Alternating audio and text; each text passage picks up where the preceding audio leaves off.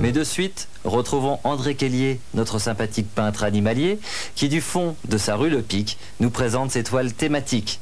Des fables, il nous livre sa lecture, coiffé de son superbe galure. Ne forçons point notre talent, nous ne ferions rien avec grâce. Jamais un lourdeau, quoi qu'il fasse, ne saurait passer pour galant. Ce n'est pas pour toi. Peu de gens que le ciel chérit et gratifie ont le don d'agréer infus avec la vie, et ne pas ressembler à l'âne de la fable qui, pour se rendre plus aimable et plus cher à son maître, alla le caresser. Nous voilà donc rue Le Pic dans l'atelier d'André Kellier. Le peintre de La Fontaine se fait compter les fables pendant qu'il travaille. Mais au fait, quelle mouche l'a donc piqué? C'est en promenant mon chien rue Constance, il y a un libraire de livres anciens. Il était minuit. Bon, et puis je vois des petites gravures collées sur la, sur la vitrine, des petites gravures de Jean-Baptiste Oudry. Et ça m'a fait-il que je les ai visionnées en peinture. J'ai trouvé ça tellement beau.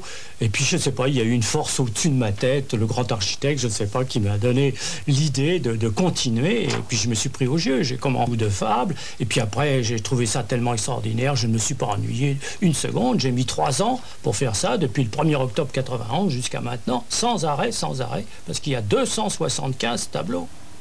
Oudry a fait 275 dessins hein, sur papier gris, euh, à l'encre de Chine et rehaussé de, blanc de Chine.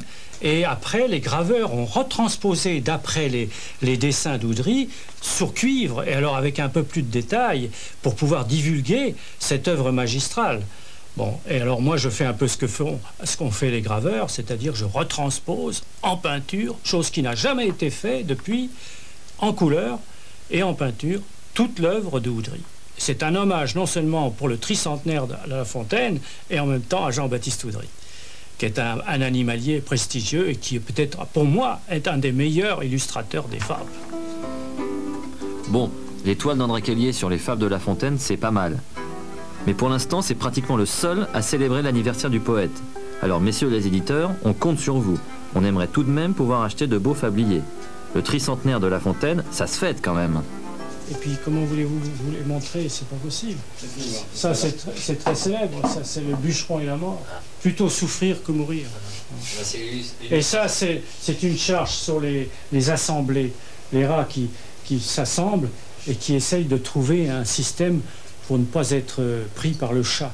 C'est les assemblées des moines, c'est les assemblées des hommes politiques. Ils discutent, ils discutent. C'est la politique, c'est les chats moines, c'est tout ça. On a quand même réussi à trouver un superbe fablier chez Albin Michel. Mais nous, on en veut toujours plus.